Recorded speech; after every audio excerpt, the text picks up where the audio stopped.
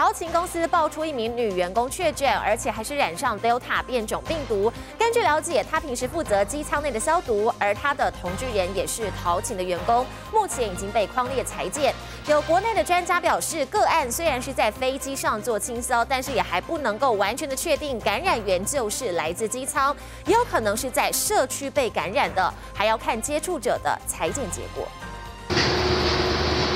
陶琴公司出现首例员工染上 Delta 变种病毒。这名二十多岁女员工平时负责机舱消毒。有国内专家认为，她的感染源很可能来自机舱，但也不能排除是在社区感染。还有现在有家人或者有朋友被感染。那他可能在家庭中或者社区得到的，做同样类似工作的人呐，或者会进入同一个机舱的空服员呐，有人被感染，那他就比较可能在工作被感染。根据了解，这名陶琴染疫员工在六月初有打过一剂 A Z 疫苗。前台大感染科医师林世璧就表示，只打一剂疫苗对于 Delta 病毒可防重症，但防感染的效果只有三成。第三类高风险接触人员到现在第二剂覆盖率只有百分之六十八，实在不应该。这是单位与主管机关应该关切的，责任不在确诊。个案身上，而卫福部草屯疗养院医师沈正南则认为，有没有看到此例有到台北知名拉面店内用 Delta 病毒对内用防线的压力测试到来了，建议大家中秋节期间必须脱下口罩的地方最好别去。现在虽然没办法烤肉，但至少可在家开心吃月饼。一旦让 Delta 病毒扩散，到了冬至，恐怕连在家吃汤圆都不敢了。不要一两个个案就直接把防疫措施拉升高等级，如果只有一两个个案，其实也反映目前的防疫措施。也还可以，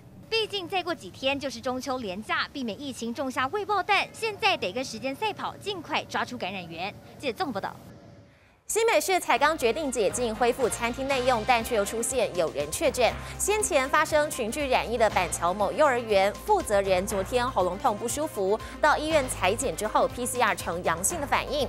附近邻居表示，他未满十四天就解隔离返家，但根据了解，这名确诊者是一名七十多岁的女性，以第二圈接触者的接触者被框列，从五号开始隔离到十三号解除隔离，却在返家之后自主健康管理期。期间确诊，新北幼儿园群聚染疫事件已经累计了三十二例相关确诊病例，如今又增加一例。新北群聚染疫的幼儿园呢，原本预计九月二十二号，也就是中秋节过后就要开始复课，现在没想到呢，又传出了确诊者，因此复课可能出现变数。据了解，这名确诊者是一名七十多岁的女性，同时是幼儿园的负责人，曾经有中风病史，因此行动不便。而她在九月五号开始居家隔离，十三号收到通知解除隔离，回家之后自主健康管理，没想到却在十五号出现喉咙痛症状，到医院裁剪后阳性。但外界好奇，不是应该隔离十四天，大约十九号才该解除隔离吗？李明转述他跟他儿子有外出买东西，还是是否可以针对这件事情？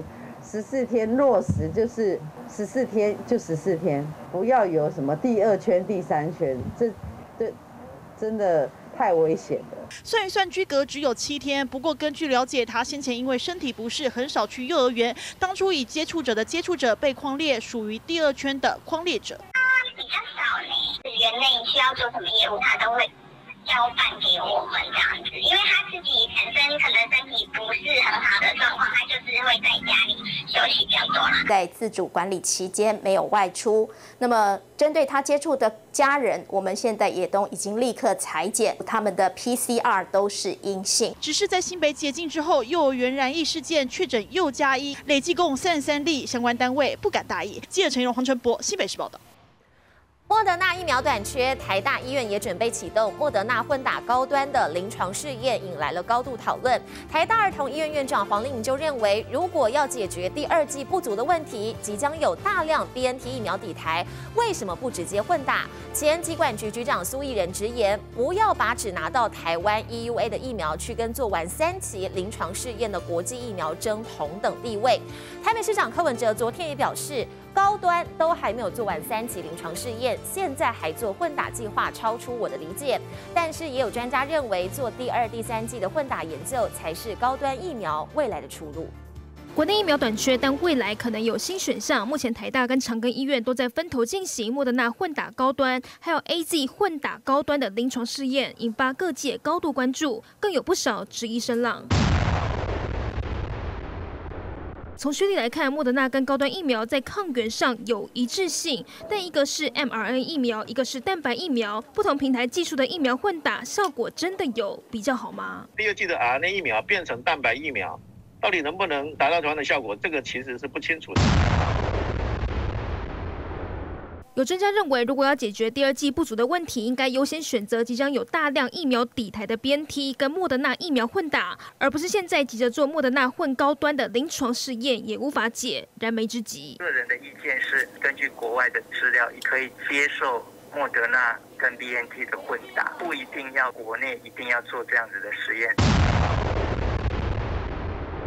面对莫德纳混打高端疫苗，前疾管局长苏益仁也直言，不要把只拿到台湾 EUA 的疫苗去跟做完三期试验的国际疫苗争同等地位。台北市长柯文哲也同样难以理解，高端怎么会三期都没做完，现在还要做混打研究？但有专家认为，做混打试验这也是高端疫苗未来的出路。他当然要去做是三期或是其他方法证实它的保护力，未来要可长可久的发展，有一个很大的市场，应该要去研究作为其他。疫苗后续的追加剂，不管是混打或是现在很热门的第三针。但以高端的产能来看，目前是否有足够的量补足第二季缺口，也同样令人怀疑。不过，只要试验证明混打安全有效，或许也能提供给民众多一个选择。九年影版推报道。中秋四天连假即将到来，离岛地区估计将会涌进上万名的游客。为了防堵新冠病毒扩散，台东县府在富冈渔港外增设了快筛站，将会在十七号启用。要搭船前往离岛的乘客，必须要持疫苗接种证明或是三天内的快筛阴性证明，否则就要在现场做快筛。台东县府也提醒，要到离岛的民众最好可以提早两个小时到富冈渔港。他填写健康史，哎，填完了以后，然后引导他往前走到这边等待筛检。照着指引来到快筛站，准备筛检，等候区座椅，也拉开社交距离。中秋连假要前往绿岛蓝屿的旅客都必须经过这一关。筛检完了以后，在我们休息区等候十五到二十分钟，的报告会出来。拿到快筛阴性证明才能搭船。因应中秋四天连假即将到来，离岛旅游渴望大复活，估计将涌进上万名游客。因此，县府规划周五起要前往离岛的民众必须持接种第一剂疫苗记录卡或三天内快筛核酸检测阴性证明才能搭船。而县府也在富冈渔港增设快筛站，供民众自愿免费筛检。那我们特地把人力抽出来，来富冈设立。为期两个月的快筛站，在中秋假期来到蓝雨绿岛的朋友，一定要提前两个小时来到我们的富冈港。